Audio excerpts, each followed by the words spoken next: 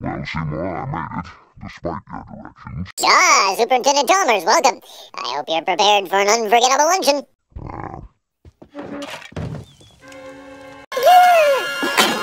Oh, you gods! My roast is ruined!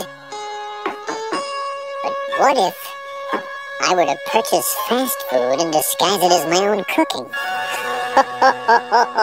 Delightfully devilish, Seymour.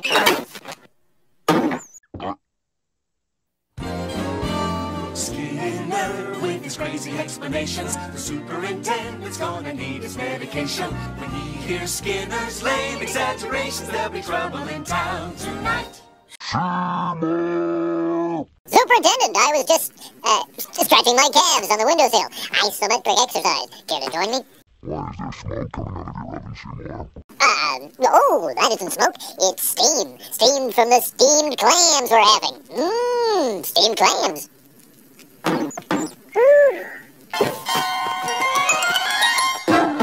Superintendent, I hope you're ready for mouth-watering hamburgers. I thought we were having steamed clams. No, no, I said steamed hams. That's what I call hamburgers. You call hamburgers steamed hams. Yes, it's a regional dialect. Uh, uh, what region? Uh, upstate New York? Really? Well, I'm from Utica, and I've never heard anyone use the phrase steamed hams. Oh, not in Utica. No, it's an Albany expression. I see.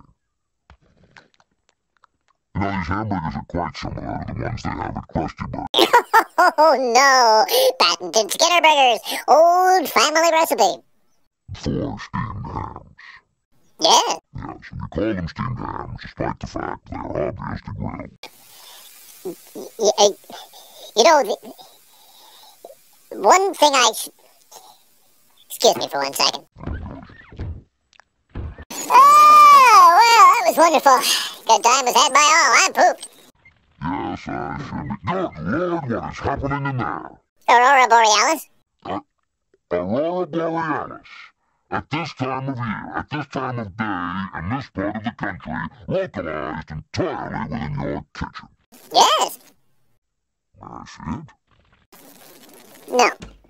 Seymour, the house is on fire! No, Mother, it's just the Northern Lights. Well, Seymour, you are an odd fellow, but I must say, you steam a good ham.